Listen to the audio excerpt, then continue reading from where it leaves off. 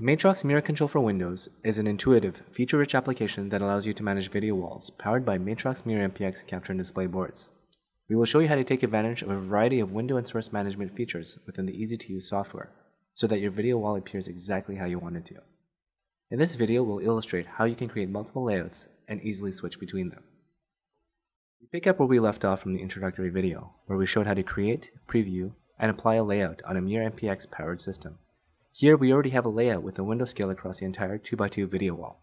To add a new layout, go to the top left hand menu of the Layouts tab and click on New.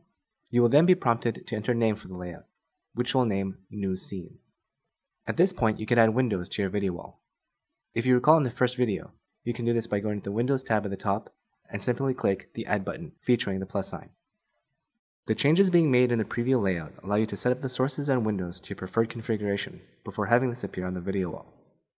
Once you're ready, you can apply the layout, which we'll do here by clicking on the green checkmark. Changes can also be made in the active layout, where you can change sources or reposition windows to different locations on the video wall. You can quickly resize a window as well, and see the changes applied on the video wall. Now, with multiple layouts, you have the option to view and choose which layout you want to feature by simply clicking on your preferred layout.